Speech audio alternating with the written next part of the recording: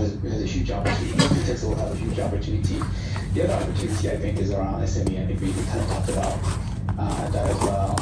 Um, and part of the opportunity is going to be around uh, because not everyone is on digital journey yet, right? And um, especially around post-COVID and post-pandemic, recovery, getting them back to work, getting them, uh, getting the, the businesses and consumers and connecting them and growing that business, I think is going to be quite quite key.